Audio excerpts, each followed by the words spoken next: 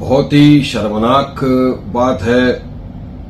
पूरी तरह कंडेमनेबल बात है ये कि दिल्ली, जो राजधानी है देश की, वहाँ पर इंद्रलोक में कुछ लोग जुम्मा की नमाज़ पढ़ रहे थे। जुम्मा की नमाज़ दो पाँच मिनट में खत्म हो जाती है।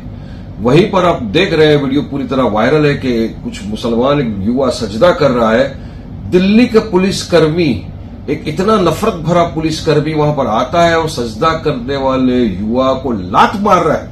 अब नमाजियों के ऊपर अब लात मारेंगे, कितनी नफरत आपके दिलों में कैसे भर गई है? मोदी जी तो बोलते हैं, सबका साथ, सबका विकास, सबका विश्वास 140 करोड़ जो जनता है वो मेरा परिवार है। तो मोदी जी, उस जनता का जो भारतीय मुसलमान दो मिनट के लिए जुम्मा की नमाज़ पढ़ रहा था, आपकी नाक के नीचे दिल्ली में, वहाँ पर दिल्ली का पुलिसकर्मी उसको लात मार रहा है।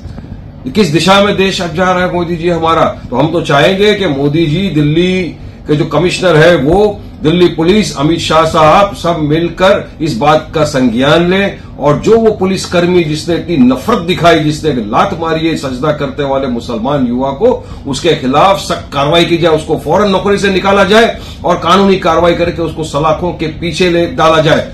तब होगा सबका साथ, सबका विकास। अब क्या देश में नमाज़ पढ़ना भी जुल्म हो गया है? जुल्म हो गया हमारे लिए, क्या? अरे हमारे हिंदू भाई अगर कोई प्रार्थना करता है, कुछ करता है, हम तो कभी आपत्ति नहीं उठाते ऑब्जेक्शन नहीं उठाते।